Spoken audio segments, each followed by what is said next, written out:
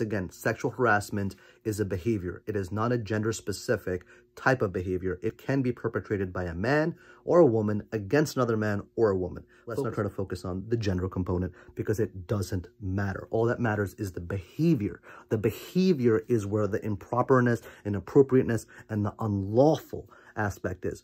So, what do you do if you experience sexual harassment? What do you recognize? A, make a complaint of it. Make sure you complain to your human resource department, complain to the police if there's any assault involved. Make sure that you focus on documenting every instance of the inappropriate things that are happening, text messages, emails, correspondence, anything recordings, if you record something, New York is a one-party state, which means that if you are a party to a conversation, you can record that conversation if you're a part of it. Remember, you have to be a part of that conversation. If you're not, then it's eavesdropping and that's against the law. So make sure that you know that, okay?